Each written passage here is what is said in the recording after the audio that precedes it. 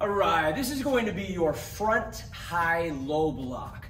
Uh, now the front high-low block is uh, not that tricky. The tricky part about it is the chamber for the front high-low block looks exactly like the actual high-low block. So uh, as we talk about in class, most of the blocks that we do, we start on the opposite side of which we are going to be blocking, and the chambers are just preparations. Uh, and there is a chamber for the high-low block. It just, uh, like I said, for this technique, the chamber for it actually looks like you're doing the technique. So for my high-low block, I'm gonna take one hand, doesn't matter which one it is, and I'm gonna bring it up, palms in right here, knuckles eye level, and then I'm gonna take the other hand and bring it palms in but down low.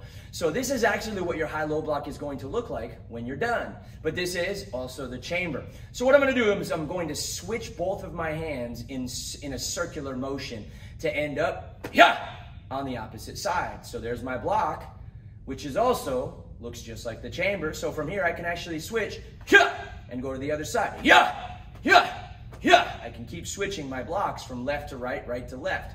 Now, just like every block that's out in front of us, I want to have my knuckles eye level. And this is just a low block. So this arm is doing an inner forearm block. This arm is doing a low block. You put them both together in the front, and you have your front high-low block. There is such thing as a side high-low block, and we'll cover that on another day. So this is my chamber, palms in, palms in. And when I switch, both hands are making a circular motion.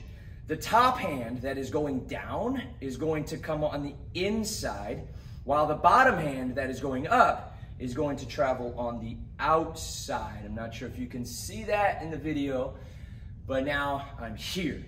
So now when I go to my block, now they've switched. The top hand going down will cross on the inside, while the bottom hand going up will cross on the outside.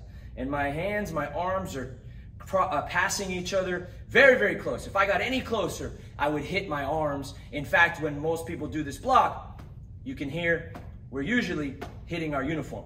It's that close here. So I don't want to cross out here. So I go from here, chamber, knuckles eye level, switch hands, yeah, my high-low block. Switch hands, yeah. Switch hands, yeah.